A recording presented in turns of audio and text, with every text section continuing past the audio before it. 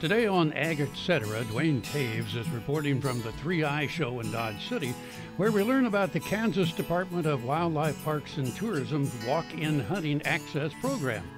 Then we get an update from the National Weather Service, and George and LaDonna Brown talk about the liquidation of their antique tractors to make room for more projects. Next is this week's Angus Report, and we'll end with Dr. Chris Blevins and Dr. Dylan Lutter discussing colic surgery. Closed captioning brought to you by Ag Promo Source. Together we grow. Learn more at agpromosource.com. Watch Ag AM in Kansas online at agaminkansas.com. This segment brought to you by Kansas Regenerative Medicine. Your stem cells, your health, your life. Duane Toews joining you once again on Ag AM in Kansas and a chance to catch up with Aaron Baugh with Kansas Wildlife Parks and Tourism. And Aaron, uh, one of the popular programs that Wildlife and Parks for a number of years has been involved in, and really it serves a kind of two purposes uh, for both the enthusiast and sportsman, but the landowner as well. The Walk-In Wildlife Hunting Program. Talk to us a little bit about that program and how it works. Yeah, uh, the walk-in program is where we lease private uh, property for public access. There we have several different uh, side shoots offsets of that program where we can give either long-term leases for up to 10 years there when it's on an all upfront payment or we do more of an annual lease there and the the landowner gets a payment uh, every year there so there are several different aspects to the program, and we've really kind of tailored it to, to best suit the, the landowner out there. Now, obviously, there are differences uh, from across the state, from east to west, and, and what might be a, a good hunting ground in one area of the state, uh, maybe not in, in another. But it allows uh, producers uh, to gain some revenue off those acres, but at the same time uh, continue to support a program and, uh, and an opportunity for those maybe in urban areas that don't have hunting acres contracted that they can enjoy the outdoors as well. Yeah, that's right, and it, really uh, works well for absentee landowners uh, that can't be out there on their property and, and keep a close eye on it. our properties are patrolled by our game wardens out there and so uh, and then we also have liability coverage on those properties so the landowner's protected by that aspect as well there. So it, it works out uh, across the state for for a different uh, variety of landowners there whether if you're on the property there and just uh, but don't have the time to manage it and want to get, get a little extra money off of it uh, it works out for them and then it works out for those absentee landowners as well we think about uh, other offshoots from that program. I think there's a fishing program as well. Yeah, there's the the fish access where uh, we lease uh, ponds there for public access, and then we all, the biologists uh, a lot of times will stock those ponds too to maybe bump up the fish numbers there for uh, the fishing out there too. Well, our thanks to uh, Aaron Baugh joining us on Ag in Kansas, talking about the wildlife uh, or walk-in hunting program. If they have more information, is the easiest way to just to go to the website? Yeah, you can go to ksoutdoors.com or just type in uh, Kansas Wildlife and Parks and Tourism on any of the search browsers, and you'll get to our website there. Or you can uh, call one of the local offices in your area and, and talk to to them there and get more information on the program. Soil is the life of a farm, and for 25 years, SureCrop Liquid Crop Nutrition has helped growers produce abundant quality crops while preserving and improving the soils they steward. SureCrop offers complete soil and plant analysis with cropping recommendations, delivery direct to your on farm storage, and quality crop nutrition custom blended for your field. Choose SureCrop for the assurance of excellence for your soil. Call today or visit their website for more information. This is Eric Stonestreet, and as many of you know, I love my home state of Kansas. In March, Kansas ranchers lost homes, equipment, and thousands of cattle from the largest wildfires in the state's history. Imagine losing all you have in a fire. Not just your house, but your livelihood. Ranchers are beginning to rebuild, but it will take years and tens of millions of dollars. To build back herds, fences, and other infrastructure. Today I'm asking you to help. Donate what you can and show your support to the ranchers of Kansas. Simply go to kansasfires.com. Your donation is tax deductible and will go to those who need it the most.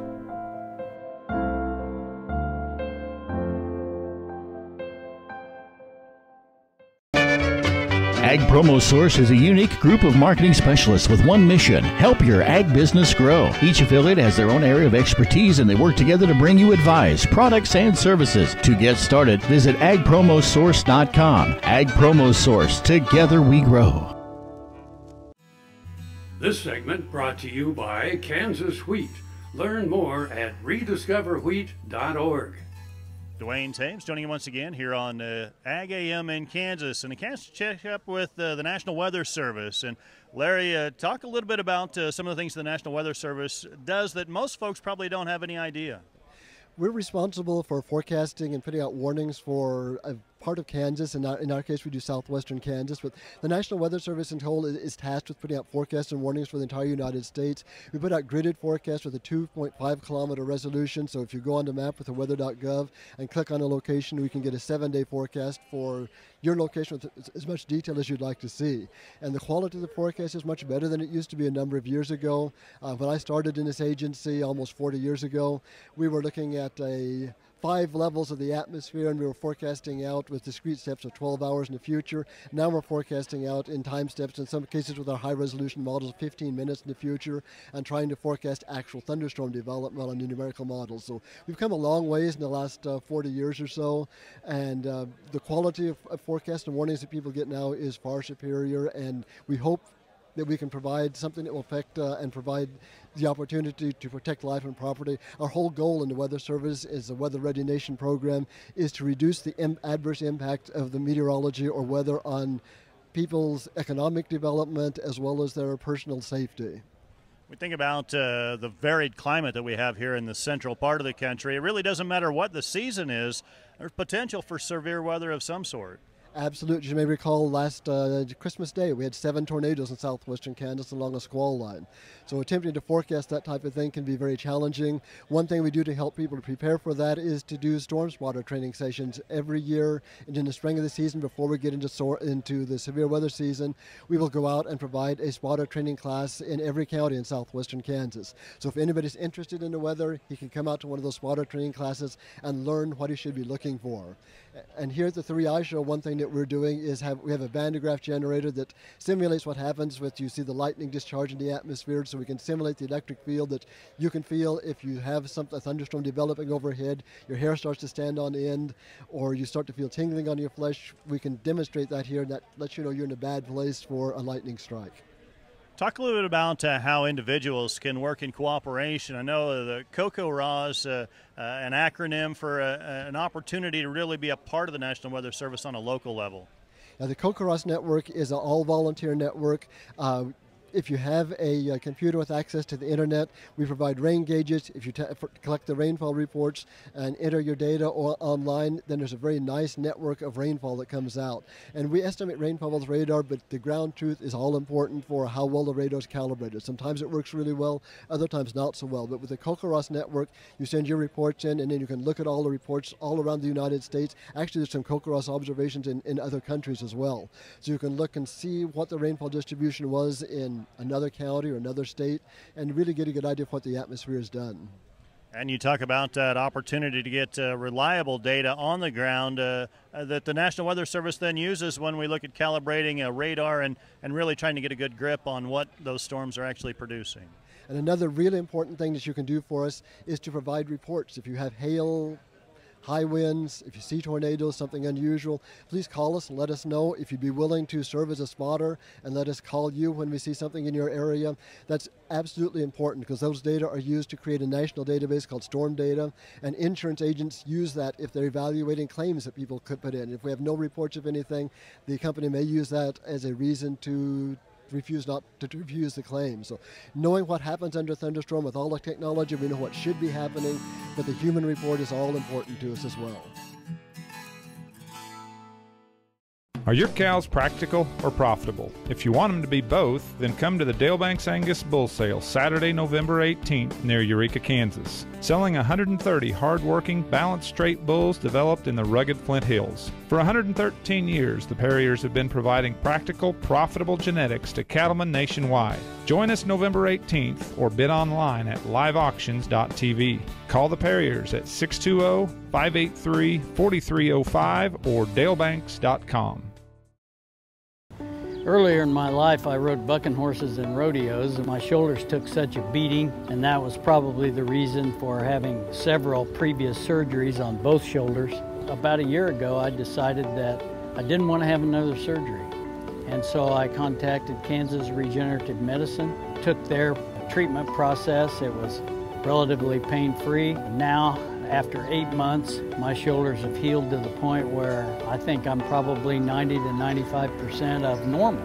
It takes a couple of months to start to see results and feel real progress. That continued to increase gradually until now at approximately eight months. And I'm extremely pleased. I've got full range of motion. I can lift weights, I can throw, I can do uh, a lot of things that uh, I couldn't do without a lot of pain previously. So I'm, I'm tickled to death with the results and I'd recommend this process to anyone.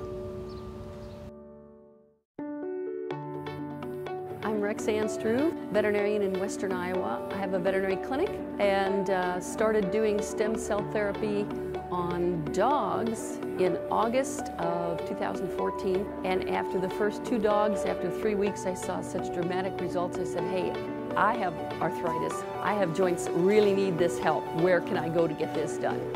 I had stem cell therapy done in November of 2014 on my finger joints, my hip, and the ball of my left foot, uh, all of which I'd had real severe problems with. Saw a pretty dramatic uh, improvement in a short amount of time. I would certainly recommend that somebody don't wait until I'm in the position that I was in with the damage already done to my joints. I encourage veterinarians to use it for their animals and I encourage anybody who sees this video, if you have need, get in contact with these people because this is a phenomenal place to have this done. This segment brought to you by Sure Crop, liquid crop nutrition delivered right to your farm. Duane Toews joining you once again here on Ag AM in Kansas, and a chance to catch up with George Brown and uh, his wife LaDonna. George, you've got uh, quite a lineup of uh, antique tractors that you've put a lot of heart and soul in. What piqued your interest in, in restoring tractors uh, back to their original fabrication? Oh, I suppose when I was a kid, I was raised on them, and you get to thinking about yesterday, and you just like to. I got started in it and got a tractor fever. Now it's getting over with. Talk a little bit about uh, some of your favorites in your lineup here. You've got a great uh, a great lineup of, of John Deere's, a few Case IH that you've done as well. Uh, that uh, that you're going to liquidate at auction. But it's an, uh, a really a lifetime of work that took to put this group together.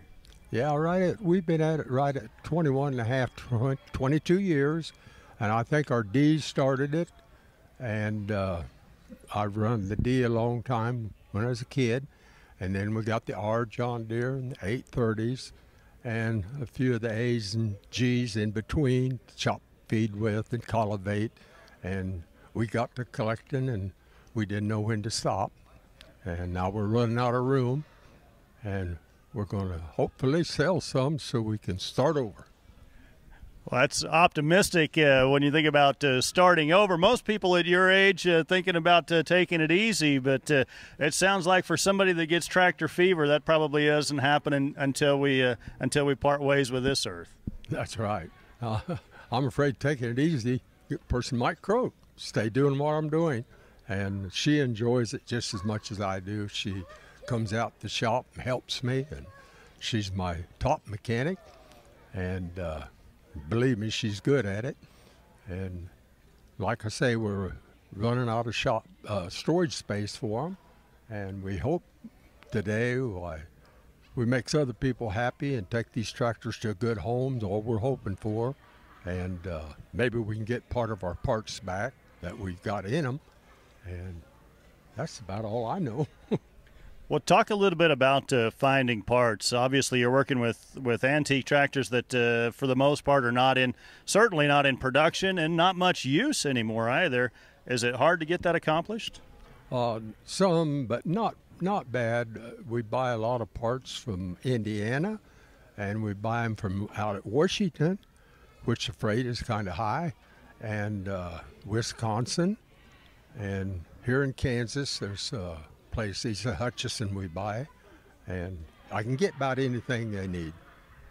Well, our thanks to George and LaDonna Brown uh, joining us here on uh, Ag AM in Kansas, sharing their fine collection of antique tractors that they liquidated this year, making a little room in the shop. Tarwater Farm and Home has been family owned and operated since its beginning in 1978. What you need for farm and agriculture, lawn and garden, clothing and footwear, and so much more. You'll be surprised at what you'll find in this huge store. They have what you need and lots of it. So come take a look. You'll discover that customer service is first and foremost. Always has been with the Tarwaters. Tarwater Farm and Home, 4107 North Topeka Boulevard. Grain sorghum is one of the most important cereal crops worldwide and Kansas leads the nation in its production.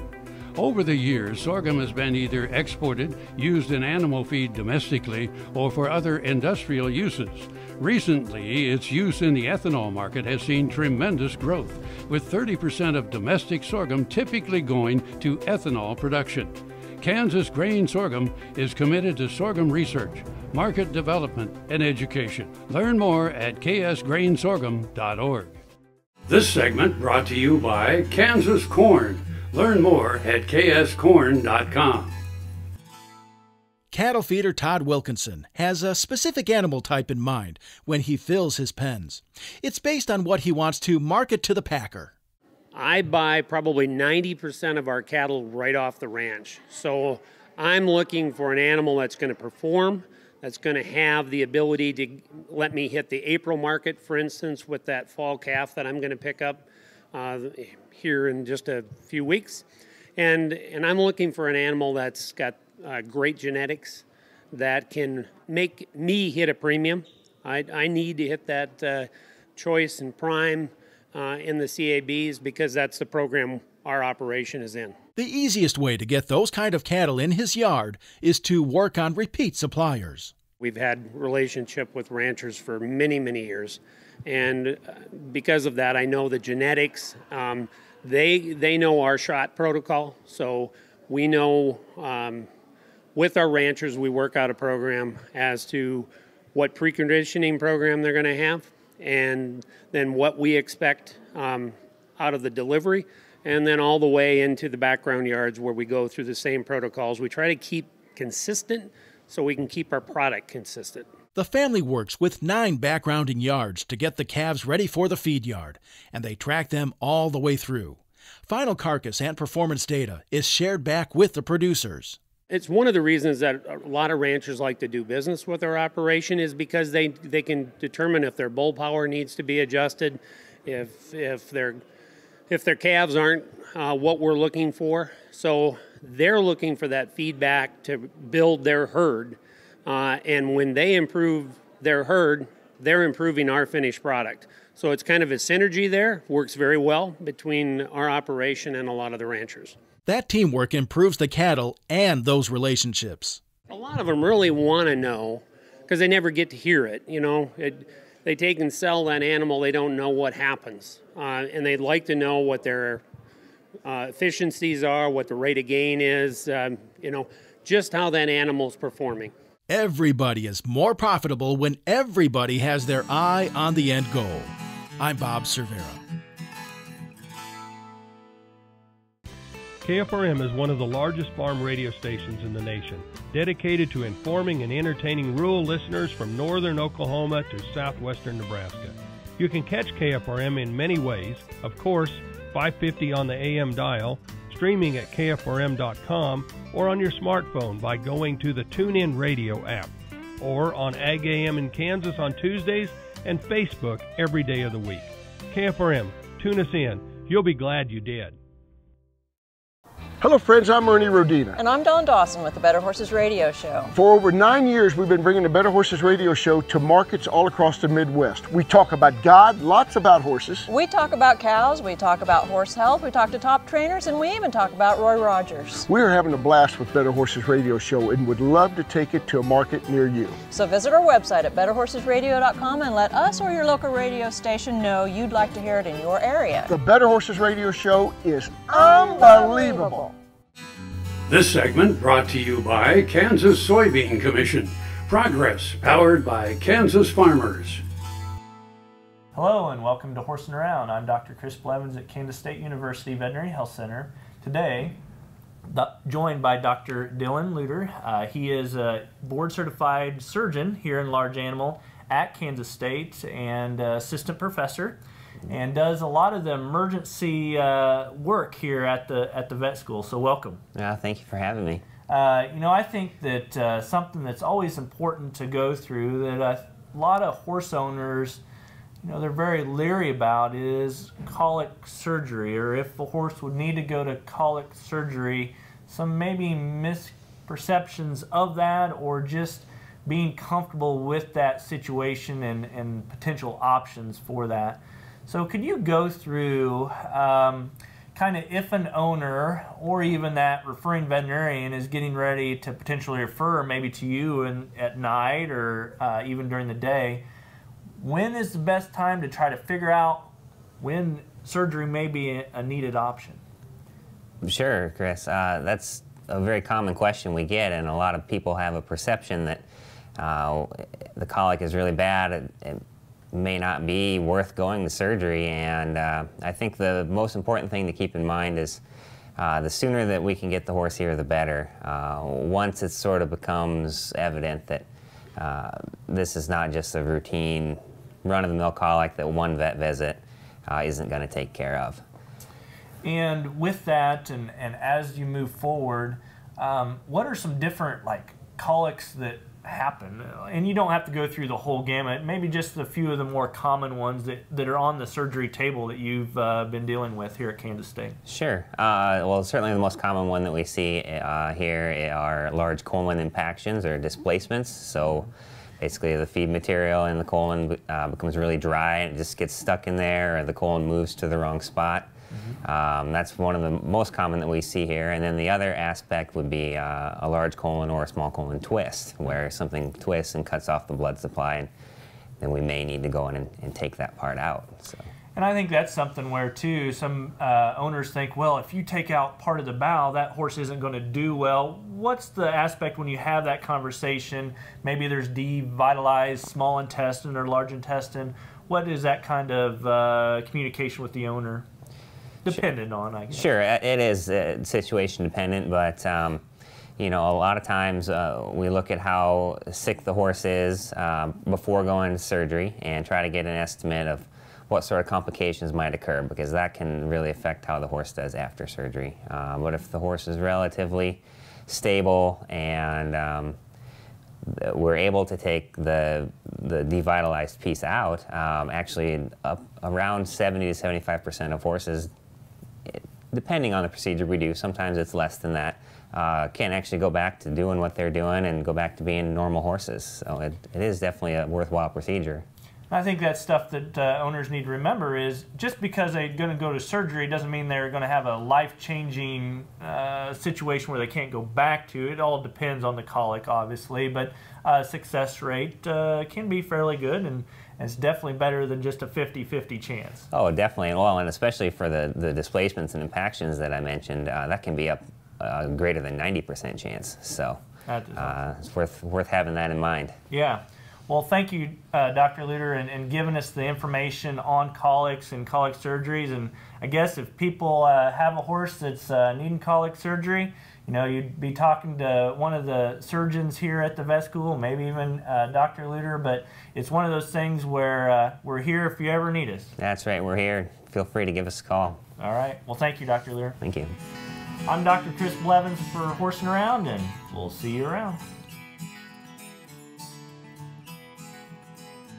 Closed captioning brought to you by Ag Promo Source. Together we grow. Learn more at agpromosource.com.